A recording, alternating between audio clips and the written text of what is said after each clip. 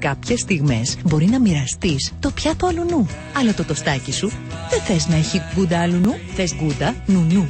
Μία φέτα γκούντα νουνού φτιάχνεται από 1,5 ποτήρι φρέσκο γάλα. Γι' αυτό είναι πλούσια σε ασβεστίο και πρωτεΐνες. Τοστάκι γάλακτος με γκούντα νουνού. Δεν θες άλλο, θες κι άλλο.